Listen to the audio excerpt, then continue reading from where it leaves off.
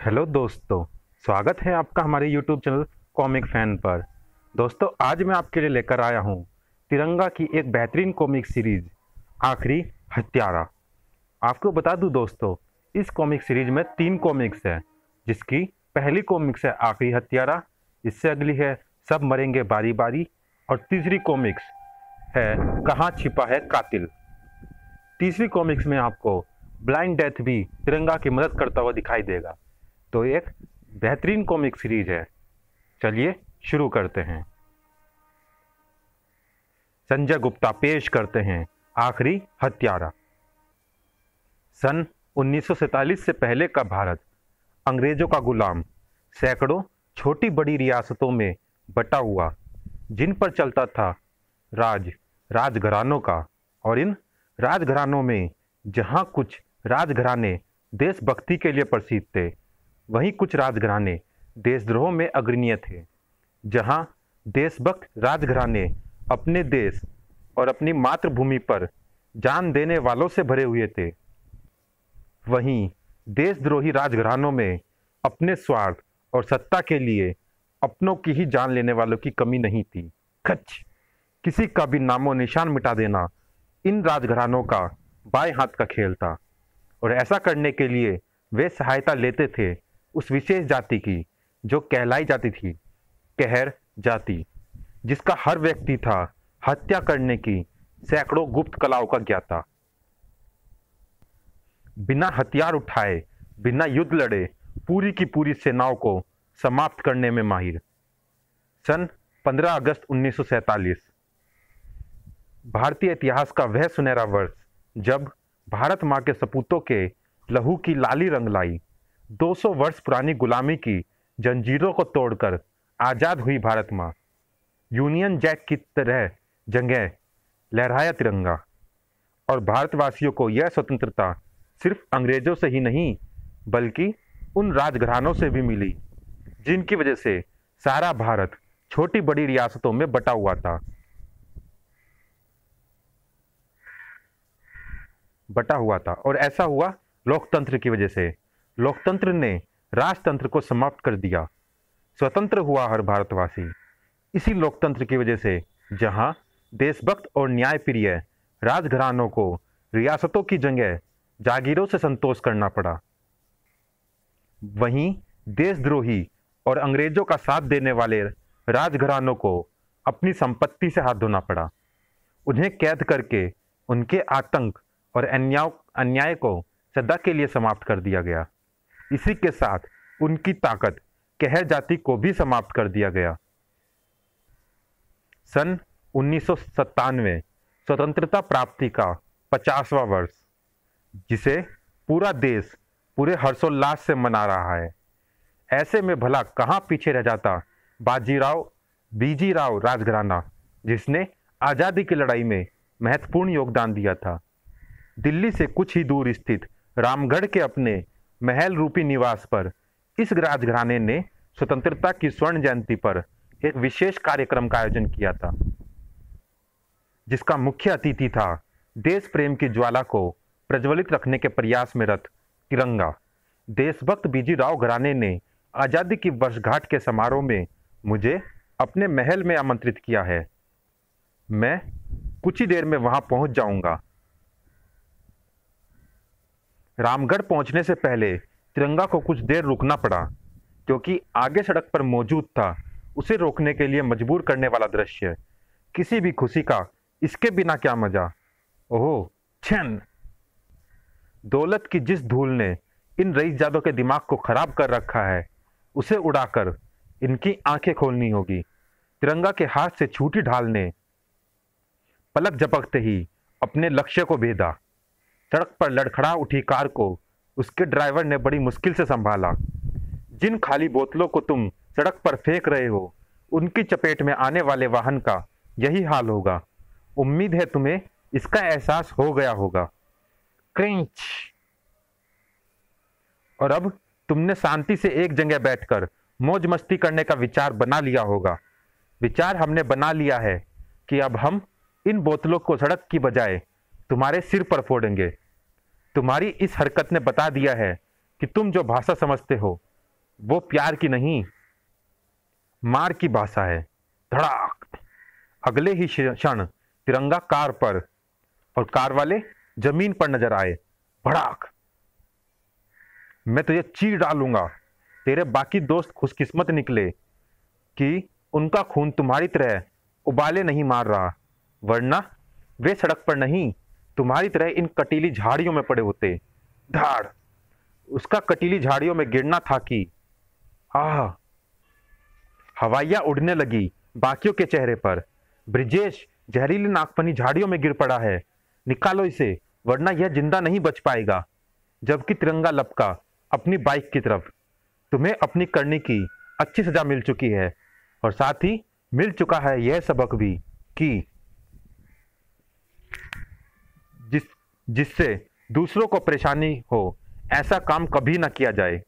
कर वहाँ से रवाना हुआ तिरंगा। कुछ ही देर में रामगढ़ जा पहुँचा। रामगढ़ पधारने का धन्यवाद तिरंगा। हम धर्मवीर बीजी राव तुम्हारा स्वागत करते हैं। धन्यवाद राजा साहब। ये हमारे बेटे हैं, शौर्यवीर, परमवीर। तीसरा बेटा करमवीर भी। अभी आता होगा। हम उससे भी तुम्हें मिलवा देंगे। और तुम्हें यह जानकर हैरानी होगी कि ये तीनों जुड़वा है। इनमें ना कोई छोटा है और ना बड़ा। इनकी इसी विशेषता के कारण हम अजीब उलझन में फंसे हुए हैं। समझ नहीं पा रहे हैं कि अपना वारिस किसे बनाए। और अब मिलिए हमारे सबसे विश्वास पात्र दीवान हुकुम सिंह से।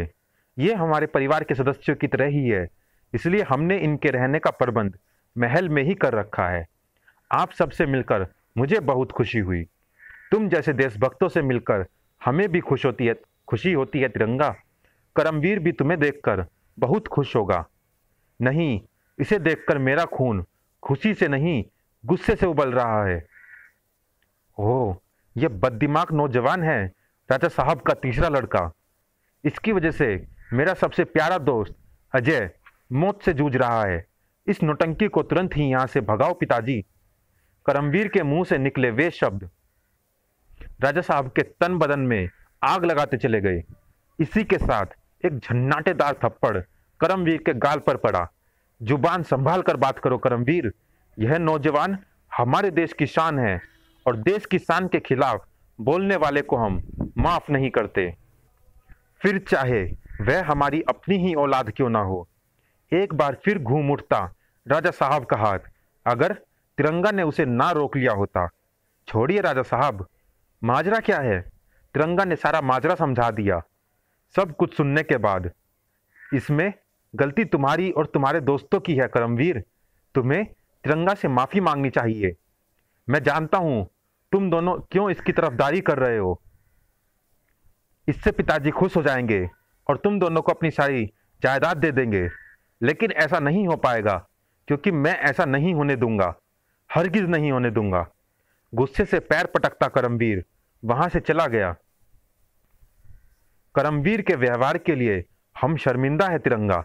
कोई बात नहीं राजा साहब, भूल जाइए इसे। तनाव भरा वह माहौल जब सामान्य हुआ तो राजा साहब ने अपने दीवान को आदेश दिया, समारोह की तैयारी करवाइए दीवान साहब। जो हुक्म राजा साहब। जल्दी ही धूमधाम से मनाया गया आज़ादी की पचासी वर्षगांठ का वह समारोह। जिसमें मौजूद हर भारतवासी खुशी से झूम रहा था।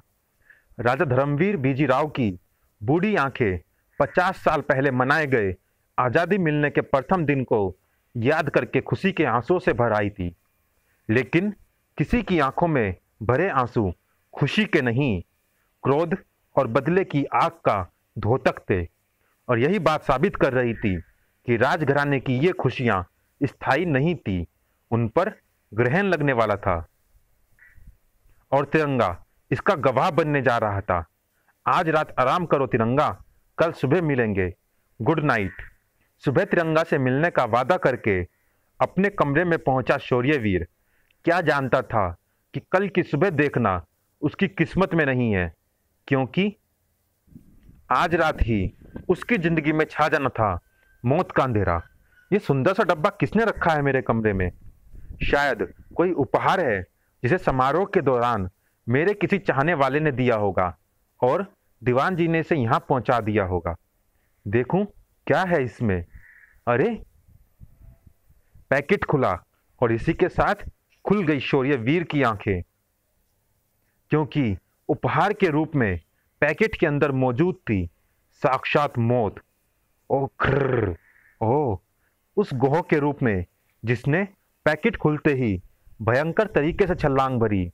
आह, और शौर्य वीर के टेंटुए से लिपट गई। आह, एक क्षण बाद ही वह गो शौर्य वीर के शरीर से अलग हुई। चिर इसी के साथ गूंजी। शौर्य वीर की वह अंतिम चीख जिसने महल के जर्रे जर्रे को हिलाकर रख दिया। आई। पलक झपकते ही तिरंगा सहित महल का हर शख्स उस कमरे में मौजूद था, जिसमें पड़ी थी सूर्यवीर की लाश। हर कोई फटी फटी आँखों से सूर्यवीर की लाश को देख रहा था, तिरंगा को छोड़कर। हत्यारा फरार हो चुका है, लेकिन अगर बारीकी से यहाँ का निरीक्षण करूँ तो शायद मैं हत्यारे के बारे में कुछ जान सकूँ। पूरे कमरे में खुर्दबीन की तरह फिर गई तिरंगा की तेज निगाहें, जिन्हें नज़र आए किसी जानवर के खून से सने छोटे छोटे पंजे और वह पैकेट जिसमें मौजूद था, वह रोंगटे खड़े कर देने वाला पत्र। सब मरेंगे बारी बारी आखिरी हत्यारा। आखिरी हत्यारा? कौन है ये आखिरी हत्यारा? जिसके नाम ने यहाँ सनसनी फैला दी थी। वह वहाँ से ज़्यादा दूर नहीं था। तूने अपने काम को बखूबी अंजाम दिया है। गोहरानी अब तू आज़ाद है। तेरा काम खत्म हुआ, लेकिन मुझे अभी सक्रिय रहना है, क्योंकि जब तक मेरा मकसद खत्म नहीं हो जाता, मेरा काम खत्म नहीं होगा। इधर नफरत की मकड़ी अपना जाल बिछा रही थी, जबकि इधर राजा साहब संयम रखिए, होनी को कोई नहीं टाल सकता। लेकिन मैं आपको विश्वास दिलाता हूँ कि आपके बेटे को मौत के घाट उतारने वाला ये आखिरी हत्यारा जो भी है, मैं उसे पकड़कर ही रहूँगा। आखिरी हत्यारे को उसके अंजाम तक पहुंचाकर ही अब मैं यहाँ से वापस लौटूँगा। हत्यारा कौन है और उसने सूर्यवीर की हत्या कैसे की, यह सब जानने के लिए मेरे पास एक सबूत मौजूद है। लेकिन उस सबूत को पुख्ता करने के लिए मुझे काफ़ी जाँच पड़ताल करनी होगी और उसके लिए मैं महल की लाइब्रेरी में रात को चुपके से पहुंचूँगा।